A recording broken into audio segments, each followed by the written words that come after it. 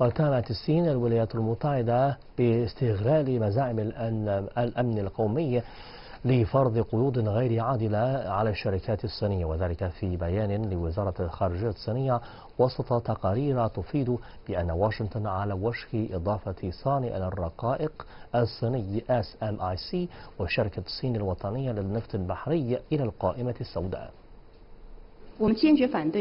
نعارض تسييس هذه القضايا.